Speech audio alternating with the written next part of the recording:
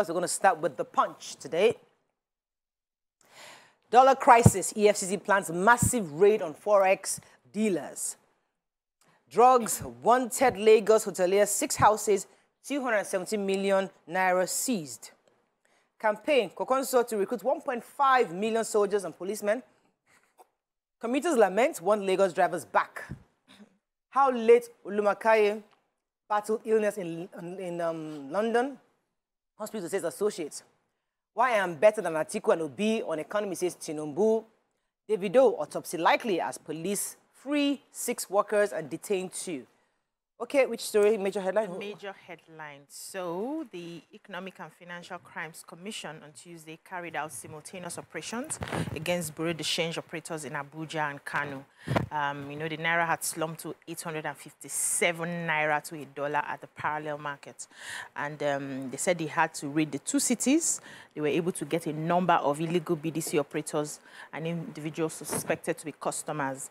And they are also planning to extend the raid to Lagos, Onitsha, Ibadan, Port Harcourt, and other major cities across the country. They are not telling anybody when they are going to do that.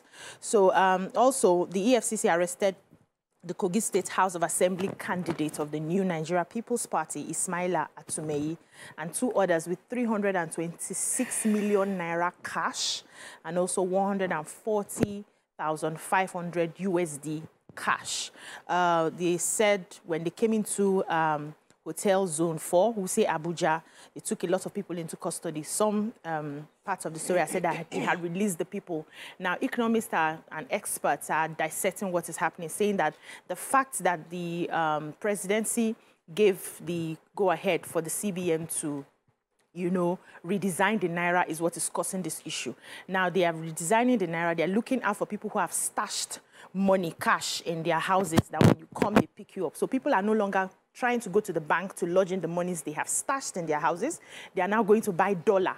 And that now made um, dollar become very scarce. A lot of people are now hoarding the dollar and it's rising. And now it's going to cause a lot of inflation.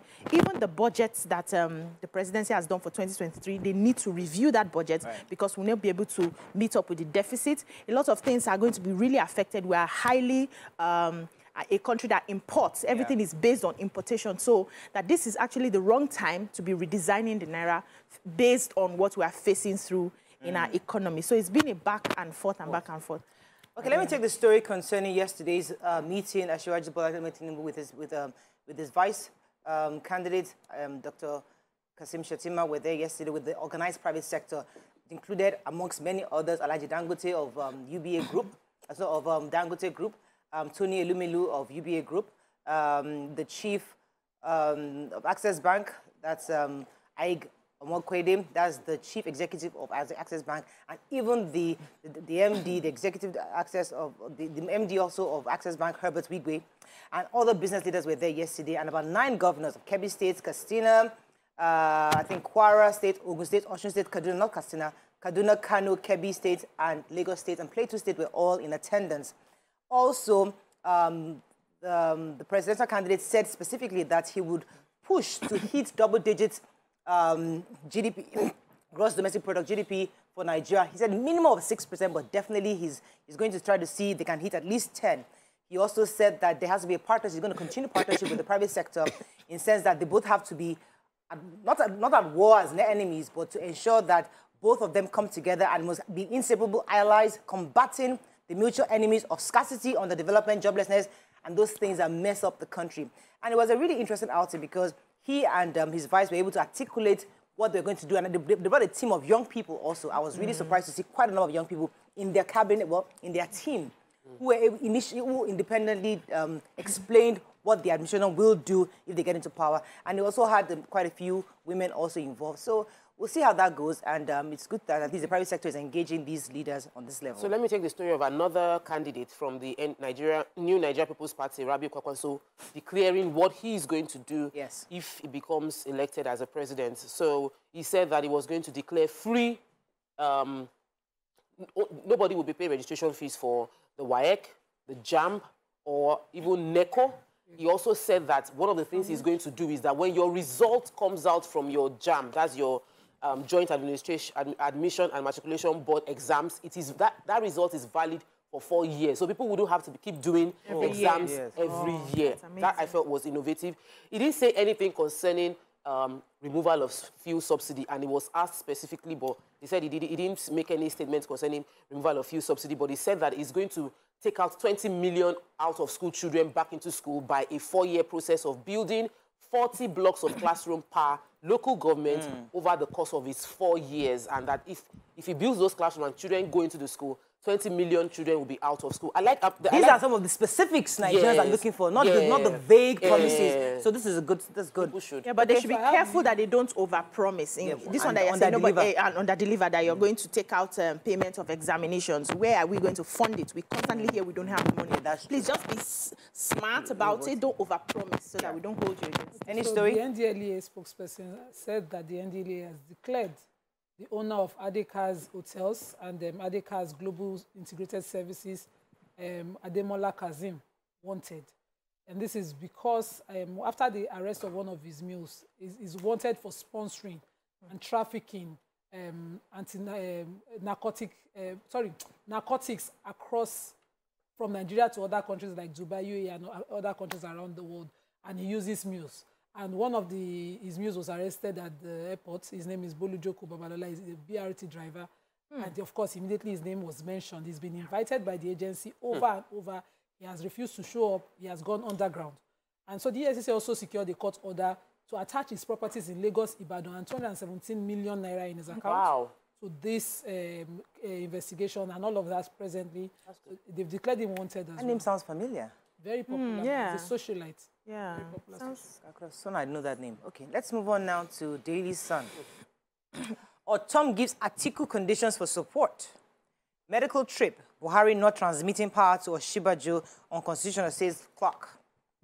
EFCC arrests Kogi Assembly candidates with cash of 326 million naira and $610,000. Goodness gracious. One person. One person. Mm. Oh, my Lord. I, uh, one feared dead as fire guts building in Lagos. Outrage as Davido's son drowns at home. 2023, Okowa to Igbo, don't abandon PDP candidate, your son-in-law.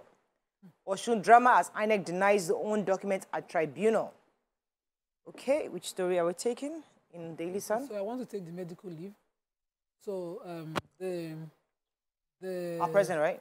yes, President um, medical leave. So the leader of um, PANDEF, uh, the Pan Niger Delta Forum, Chief Edwin Clark, the Arewa Youth Consultative Forum, the Middle Belt Forum, all of these um, um, um, bodies are criticizing the president's move to travel out of the country for two weeks in November and without uh, handing over to the vice president. They said that Section 145 of the Constitution clearly states that whenever he's on medical leave, when he leaves the country for medical leave, he must hand over by writing a letter to the National Assembly, the, pres- the uh, president of the Senate, and the, uh, the Speaker of the House of Representatives, and hand over to the vice president. But the president, after that initial, um, you know, um, travel that he had to do in 2019, he's always said that he's only required to do so if he's leaving for more than 21 days. And that is an importation into the constitution. is a foreign, it's an importation of a foreign body into the constitution because the constitution does not limit or specify the na- days when it's required. It says as soon as it is for medical, whatever reason, he must hand over. And so they've stated this issue. I hope he addresses it properly. Right. Still reviewing Daily Sun. Yes, go ahead. So, uh, fire gutted a building suspected to belong to Providence Bank under construction at Adeola Odeku Street, Victoria Island, Lagos.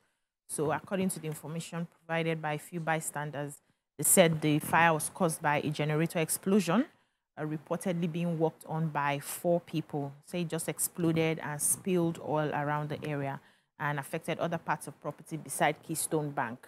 Also, a car belonging to Rapid Response Squad was burnt outside the building. I think I saw pictures of that on- on social media. The six persons, especially the policeman attached to the Rapid Response uh, Squad, was injured by broken glasses while he was struggling to you know, get out of the car when it caught fire. So, according to the Lagos police spokesman, uh, SP Benjamin Hundeyin, said all six uh, victims were have been put on admission at the hospital under observation.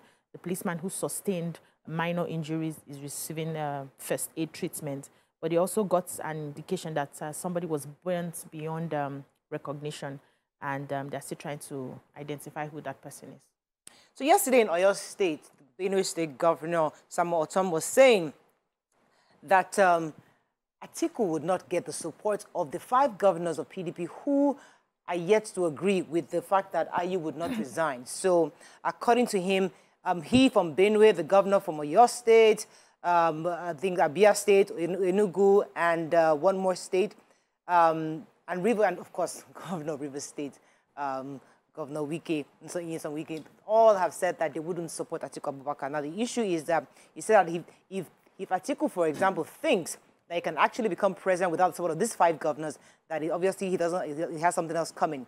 That, but I'm, I, I kind of fear that if, if a governor says, I'm not supporting, does that mean his followers cannot independently decide to follow who they believe? So that's so that The was strength these, of the governor's five, statements Yeah, that's so. is the so- people. It's well, heavy, yeah. I guess that's that's the norm. These days, these days we've seen lots of things going away from the norm. So yes, these five governors are yet to agree, are saying that if they cannot clean up the house within PDP, they wouldn't support him for the. They should put for their house in order if they know what is good for them. I- because uh, other political parties are strong. even- article.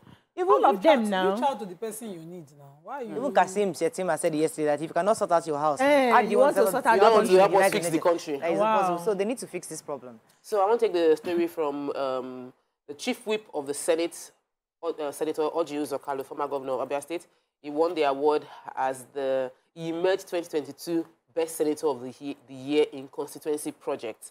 The poll, it was an online poll organized um, and monitored by the News Agency of Nigeria, and he was able to get 283,000 people to vote for him and defeated the closest um, competitor who was who got 83,000 votes. That's Senator Adetokunbo Abiru. Now, the reason he got the votes was, according to the paper, was because of the constituency project that he raised, that he was able to um, um, influence 50 roads to be constructed within the Abia North local government within three years.